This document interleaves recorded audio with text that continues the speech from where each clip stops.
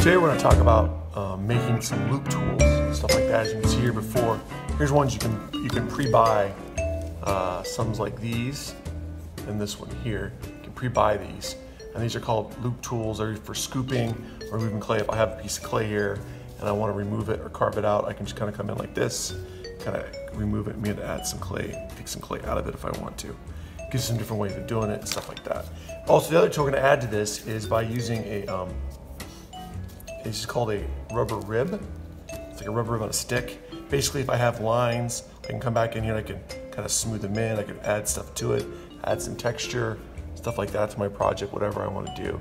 That's what I'm doing here with this one. It allows me to do that. And I can also take it and I can also smooth these out as well if I want. Kind of a good little smoothing tool is what it's good for. And we can use these by using a eraser. We'll do kind of the same basic idea of what it'll do there. It'll do the same thing. So here are the ones I've made as you can see already. I'm gonna show you how to make a couple of these. All this is here is an eraser.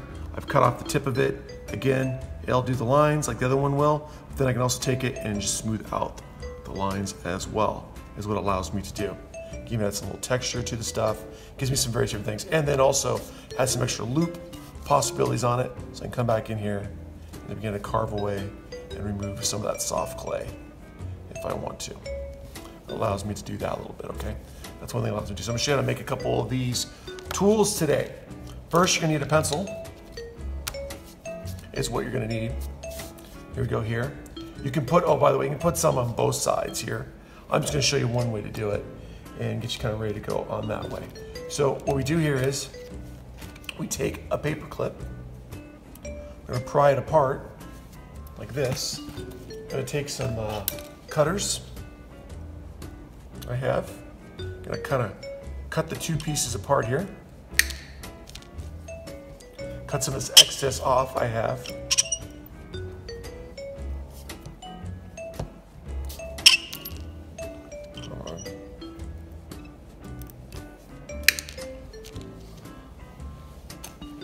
I have a couple pieces right here. I'm gonna use the smaller one here to make a smaller loop tool with this is what I wanna do.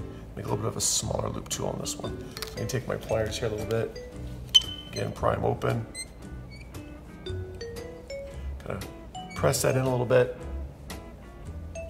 It's not pressed in and it's ready to go to make a loop tool. All I do now is I take the one end of, of the eraser here and I'm gonna press it in. Try to get as close as I can to the middle as possible.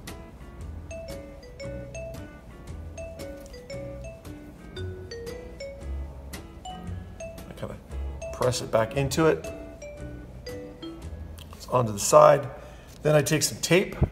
Um, I recommend you can use masking tape, and so you can use duct tape.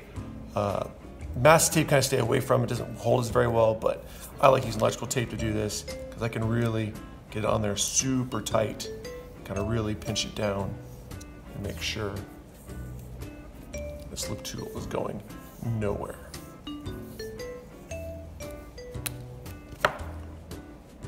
Have it looped on there, so it'll work. It's got a pretty good feel. And then I take my eraser, replace it on like this, and what I do to give it a little bit of a point, I come back in with a pair of scissors. I just kind of take off the tip on each side, take a little bit of a point I want. Then what I can do is I can take some sandpaper, kind of just go over that piece like I'm erasing it it gives it to a nice little point. I'll you to get this to stay on in just a minute. So I have a little bit more of a point that I want onto my tool. Then I take my uh, electrical tape again, wrap it around this part of the head right here, and begin to tape it down.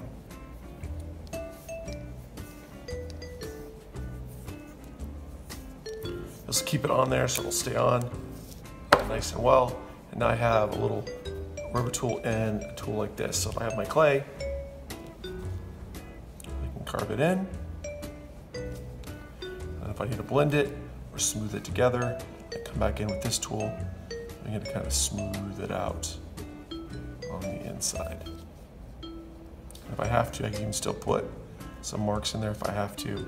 It doesn't matter, but it gives like a nice little tool to use for, as you can see, it's a little bit easier for it to use, which is kind of cool. And this is how you make a loop tool. So you, all you said you need a pencil, a couple paper clips, you're gonna cut them apart, little segments like this, and then you're gonna tape them on the, onto the stick, one on each side if you want, as this one has been done here. One on each side, or like I said, you can use an eraser and give it a little bit of a point to it as well, and have a ribbon tool on the other side over there as well. And that is how you make an extra loop tool. I know these aren't as fancy as these, but I get you kind of started on what you need to do.